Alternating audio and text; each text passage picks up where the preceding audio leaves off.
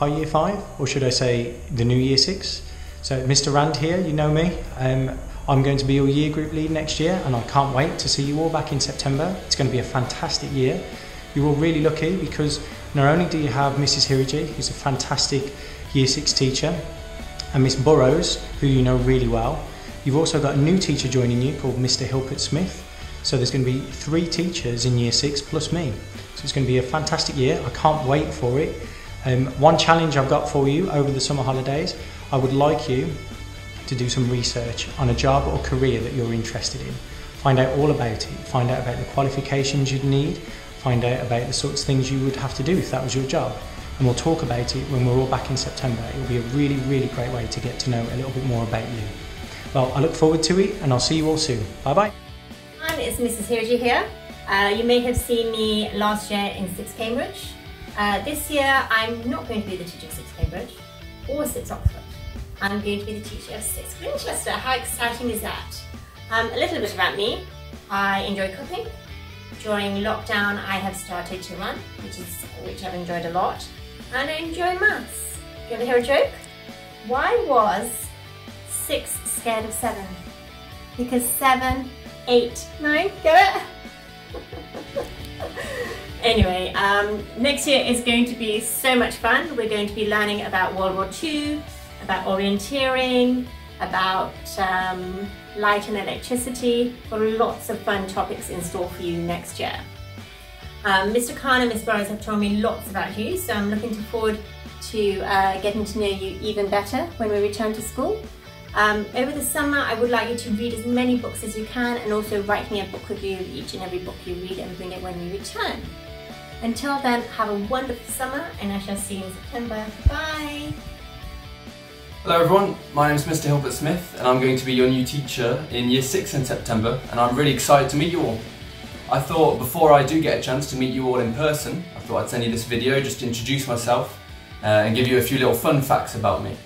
So my favourite subjects are PE and geography and uh, my favourite sports are tennis and basketball.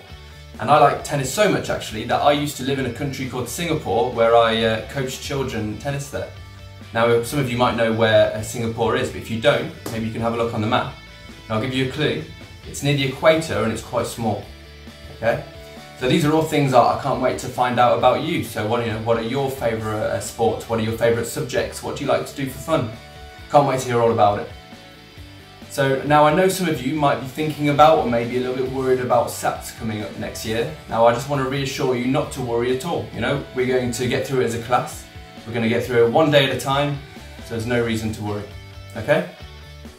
So until then, uh, I want you to have a fantastic rest of the term, have a brilliant summer, and uh, I can't wait to see you all in September. Stay safe, and I'll see you then. Bye. Oh, hi, sorry, I didn't see you there. So this is a book that I'm reading at the moment that's to do with a topic you'll be studying in Year 6. I'm Miss Burrows and I'm going to be your new Year 6 teacher in 6 Oxford. I am so excited to see some old and new faces in September. So, some of the topics you'll be looking at in Year 6 are Victorians, light, electricity and World War II. I cannot wait to start studying them with you. Now, this year has been quite tough, so I've had some new hobbies to keep me busy during lockdown. These involve painting, wow, and skipping.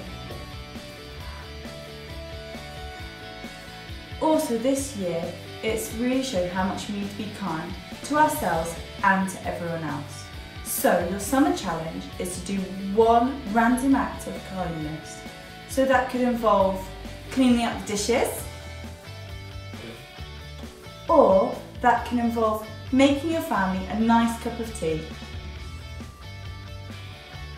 Mmm, delicious.